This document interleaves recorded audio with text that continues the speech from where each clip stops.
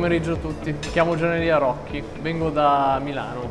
E questa ho fatto un impasto diretto con un 65% di idratazione, con una crema di ceci, eh, poi patate parigine, classiche come la patata normale e ho messo poi del carpaccio di pulipo, mozzarella ovviamente fior di latte, ho messo anche dopo che ho stagliato semi di papavero, di girasole, di anche eh, sesamo.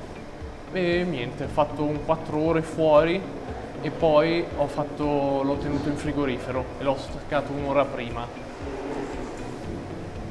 Purtroppo avevo deciso di portare una biga, solo che mi si è fermato il fermabiga e me lo sono trovato tutto moscio. Alla sera ho dovuto fare il tutto veloce, non diretto. Hai aggiunto dopo lo staglio semi... Di papavero, semi di girasole, semi eh, di sesamo. Dopo lo staglio? Dopo lo staglio. Dopo lo staglio. Ho capito. È una tecnica tua o l'hai vista fare da qualcuno? L'ho fatta io, mi viene un po' così.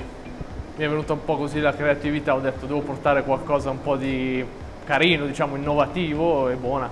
Mi sono buttato su quello, ho fatto un'autolisi perché comunque c'è farina di segale. Adesso siamo nel periodo di giugno-luglio, è pronta diciamo, diciamo, la segale da raccogliere, quindi ho detto mi sembra intonata per la stagione. Ah, quindi l'impasto l'hai fatto con eh, che tipo di farine? Ho fatto una zero eh, con germe di grano e poi il 30% ho usato segale. Sale c'è qui. Sì, sì, sì, ovviamente c'è. Sale c'è. Saporita e buona.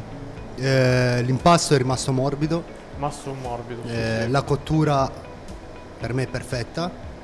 Eh, niente, complimenti. Sono contento. Mi è piaciuta tanto. Sono contento. Cioè, io non capisco perché lo fai dopo lo staglio, cioè mettere i, Perché i comunque se fai un viaggio lungo e eh, i semi sono all'interno, perforano comunque la maglia glutinica. A me serviva che comunque arrivavo qua, non sapendo quando Certo. iniziavo, ho dovuto comunque dargli il tempo piano piano, se no sarebbe stato controproducente. Ok, grazie. Grazie. Grazie.